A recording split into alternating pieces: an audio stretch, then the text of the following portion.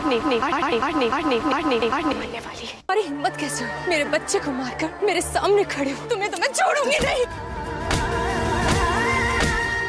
तो सच जानना चाहती तो सच ये है कि तेरे साथ जो कुछ भी हो ना वो अंगद मान ने किया है।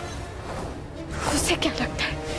वो इतनी आसानी से मुझे डराएगा धमकाएगा और मैं डर जाऊँगी नहीं। जैस्मिन इतनी आसानी से हार नहीं मानने वाली।